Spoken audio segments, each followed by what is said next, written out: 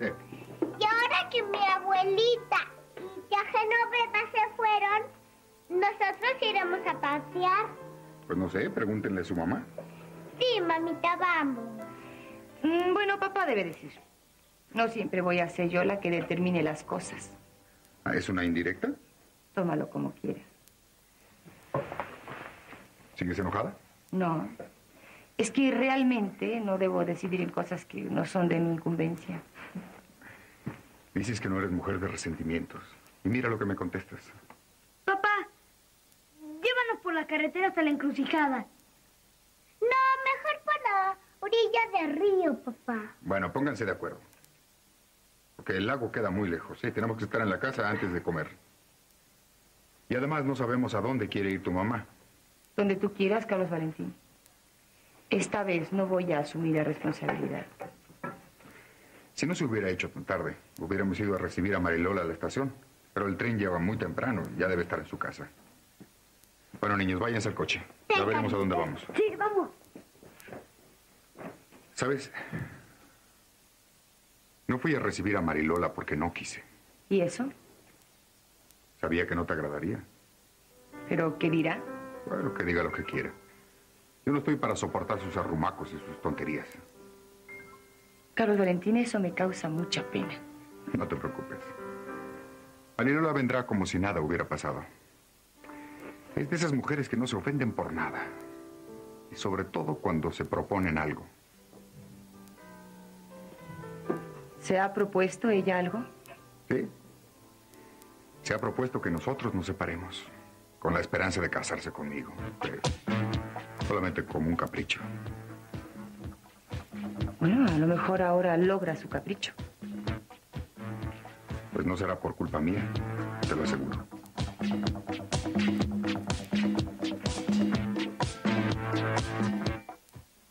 Así que no están. Fueron a misa ya tarde, señorita Marilola. ¿Y no recibió Carlos Valentín mi telegrama? Sí, señorita, claro. Sí, pero no fue a recibirme a la estación. Bueno, es que no debe haber podido. ¿Y cómo anda doña Amanda? Muy bien, señorita. Pues voy a verla entonces. No, ella tampoco está. ¿Cómo? ¿No está arriba mi tía como siempre? No, ella ya está muy bien. La señora Andrea la curó. Pues vaya noticia. Me alegro. De todas maneras los esperaré y me quedaré a comer. Soy de la familia. Pues como guste. ¿Y mm, cómo está mi primo, Carlos Valentín? Bien, señorita, como siempre. La verdad es que no comprendo cómo siendo tan cumplido, pues no haya ido a recibirme a la estación. Bueno, pues seguramente se le hizo tarde. Ya le expliqué, ¿no? ¿Y qué me dices de la señora Andrea? Bien, muy bien. ¿Estás segura? Si supiera, todo ha cambiado entre ellos. Ahora son muy felices. ¿Cómo? Eso que oyó, señorita Marilola. Se quieren más que nunca. Estoy segura que ahora sí, nada, ni nadie podrá separarlos.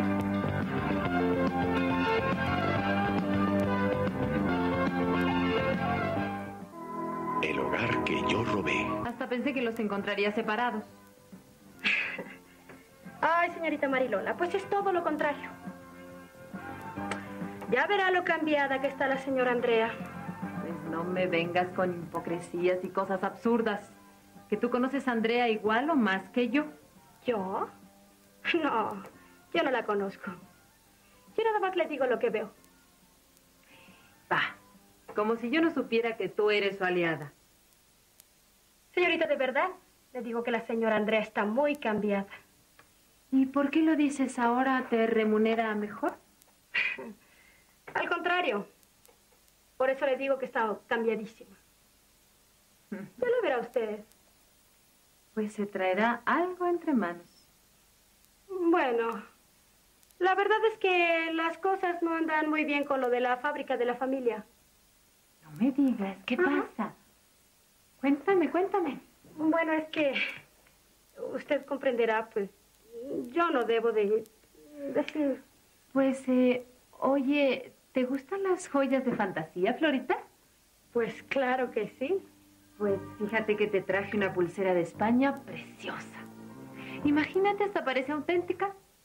¿De verdad, señorita Marilola? Y ahora cuando me instale bien voy a desechar unos vestidos que seguramente te van a venir muy bien. Tengo tanta ropa. Eh, gracias por haber pensado en mí. Bueno, pues ahora dime qué es lo que sucede. Este, pues, parece que van a cerrar la fábrica, señorita. Y están todos como agua para chocolate. Pero cerrarla significaría la ruina. Eso es. No hay dinero ni para pagar los sueldos de los trabajadores. Es que ya no se venden las telas como antes. Ahora sí que están en problemas. Tal vez por la preocupación a mi primo se le olvidó ir a buscarme a la estación, ¿verdad? Claro, pudo haber sido eso.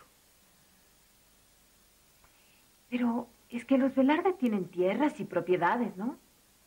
Pues sí, pero es que no dan por ella todo el dinero que hace falta para levantar la fábrica. Con esto de seguro que Andrea deja a mi primo. Pues si viera que no, señorita. Dije antes que este, la señora está muy cambiada. Yo conozco a Andrea muy bien. Vive por ella y para ella. Y el día que sepa que Carlos Valentín no tiene dinero, seguro que lo dejará sin importarle nada. Bueno, eso es lo que usted piensa. Pero cuando la vea y la oiga, ya me dirá. Sí, Fernanda, muchas gracias. Ahí viene, con permiso. No beba! Ay, Lola. ¿Cuándo llegaste? Pues llegué esta mañana bien temprano. Le mandé un telegrama a Carlos Valentín para que fuera por mí, pero parece que no pudo ir. Entonces decidí invitarme a comer con todos ustedes. Qué bueno. Esta es tu casa, Marilola. Gracias, muchas gracias. Pero qué veo, doña Amanda. Qué guapa está usted de paseo. ¡Qué sorpresa, Marilola! Has vuelto a este pueblucho. Este es mi querido pueblo, querida tía. Pero qué bien está usted. Y todavía pienso estar mucho mejor. Hola, primo, ¿cómo estás? Bien, Marilola. ¿Y tú? Pues muy bien, creo que no puedo estar mejor. Eh, ya lo veo, ya lo veo. ¿Y Virginia? Ahí viene. Virginia querida, tan linda como siempre. Gracias. Pero nunca he sido linda. Ay, mujer, no seas tan modesta. Bueno, ¿por qué no vamos a sentarnos? Pero dime, ¿y Carlos Valentín y Andrea y los niños? Vendrán más tarde, Marilola. ¿Pasamos a la sala? ¿Y tu marido? Eh, Reinaldo tenía algo urgente que hacer. Seguramente vendrá después. Bueno, yo voy a la cocina a ver cómo anda todo. Ven conmigo, Florita. Claro, señora. Con permiso, hijo.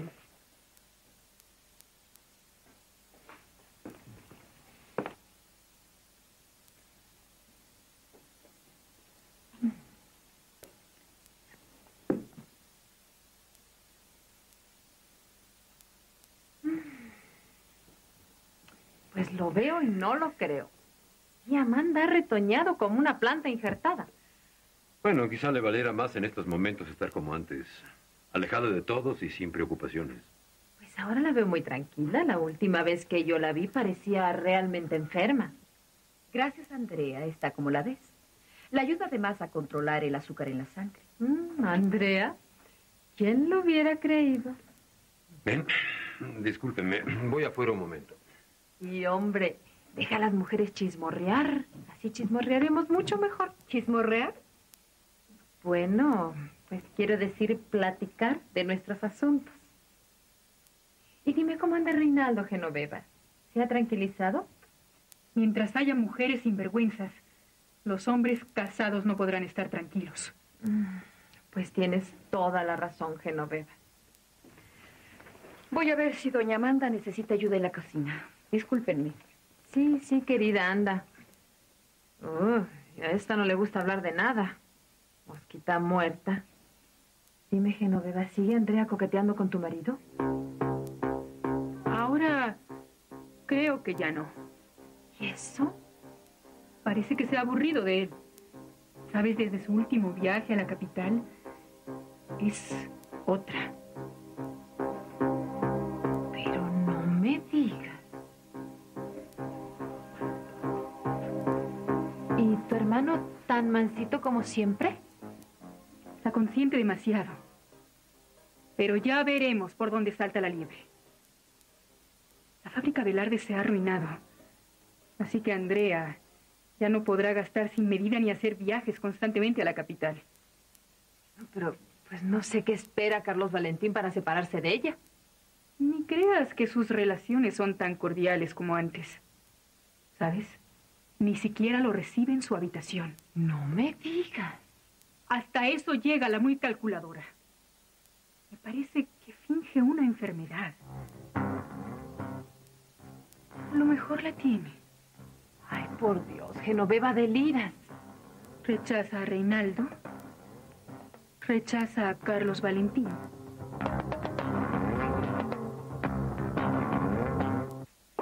Está bien, jueguen en el jardín un rato. Yo les aviso a la hora en que vamos a comer. Andrea, querida.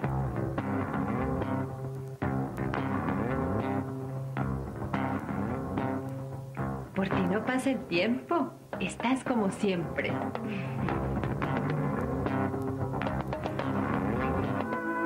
El hogar que yo robé. Lindísima. Ya sabes que me cuido mucho, Marilola. Porque tú eres Marilola, ¿verdad? Pero por Dios, Andrea, ¿quién voy a ser entonces? Estoy bromeando, Marilola, por Dios. Pues mira que aunque el sinvergüenza de tu marido me dejó plantada en la estación, aquí me tienes. Marilola, discúlpame. Voy a dejar el velo y el misal allá arriba. Te dejo en muy buena compañía. Pues no podía ser mejor.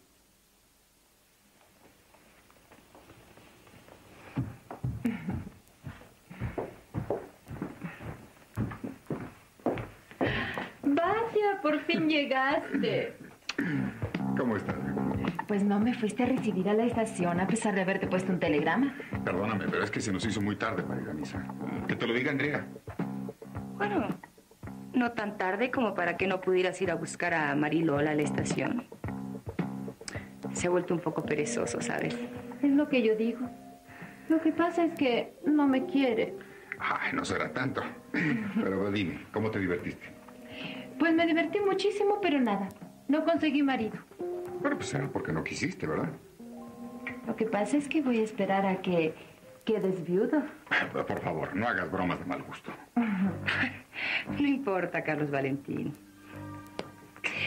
A lo mejor no hay ni que esperar a eso. Pues eso creía, pero voy perdiendo las esperanzas. Carlos Valentín se muere por ti. Aunque tú, pues, no tanto por él. Así pasa, Marilola. A lo mejor en eso está el secreto de mi atracción. Voy un momento a mi recámara, ¿eh? Subo contigo. Como quieras.